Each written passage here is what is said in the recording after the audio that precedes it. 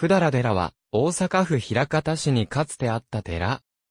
天平商法2年頃に、百済の小に騎士高志福によって建立されたと言われている。1941年1月27日に国の史跡に指定され、さらに昭和27年3月29日に特別史跡に指定された。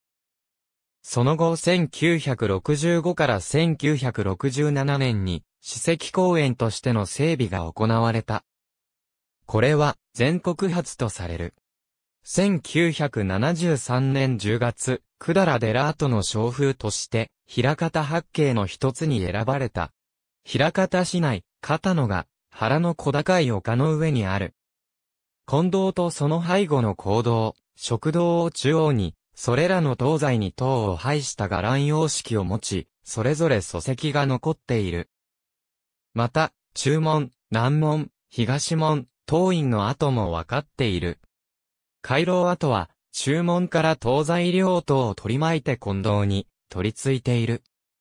この伽藍様式は薬師寺に似ているが、薬師寺は、回廊が行動に取り付くので百済寺とは異なり、百済寺はむしろ白木の観音寺と同形式であることが指摘されている。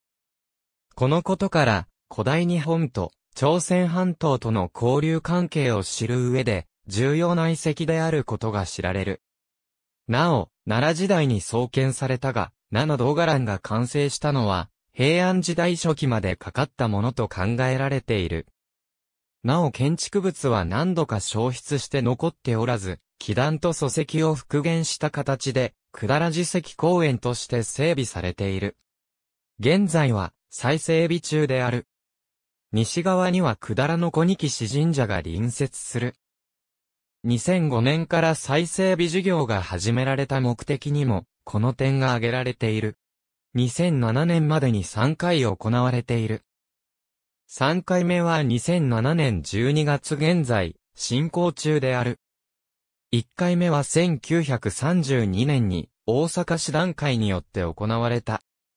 同等の祈壇や回廊の礎石が調査され、大略、東西両党を備えた薬師寺式伽藍とみなされた。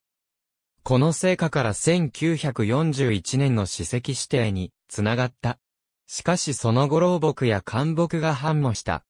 1965年、この状況を憂えた寺島総一郎市長が第二次の発掘調査を企てた。その結果、回廊が注文から近道に取り付くことが確認され、白木の観音寺と同形式であることが判明した。その後の損壊の再整備や第二次調査の不十分な点を補うため、2005年から第三次発掘調査が行われている。調査により、大型大見事戦物の破片が、奈良時代のものとしては初めて発見された。百済寺の格式の高さや百済の小に騎士氏の勢力の大きさを伺わせるものとされる。百済の子に騎士氏が、河内国公屋の地に移り住む以前、摂津国南馬系にも、百済寺、百済虹があったと考えられている。日本霊域第14話に、南馬百済寺とあり、南馬の百済寺は、西明朝から10世紀までは存在していたと考えられている。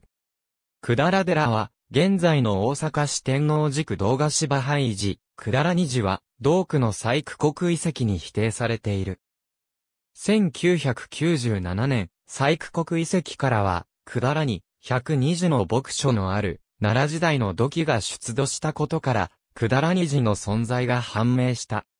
両遺跡から出土した瓦の形式にも共通性が見られる。百済虹で和道海鎮の枝銭が見つかっている。細工国遺跡からも戦火鋳造を伺わせる遺物が出土している。摂津国に、百済軍が存在したことがあるが、この付近がその生誕と考えられている。南波には百済から渡来してきた人々が多く住んでいた。百済の子に騎士氏は、元、摂津国百済軍を拠点としていたが、百済の子に騎士高志福が749年、道の区国で発見した黄金を平城慶の聖武天皇へ献上することによって、十五以上、陸奥守から十三位、川内守へ、異例の昇進を果たし、それを機会に、河内国交屋の地を次の拠点にしたものとみられる。京阪片野線宮の坂駅下車徒歩10分ほど。ありがとうございます。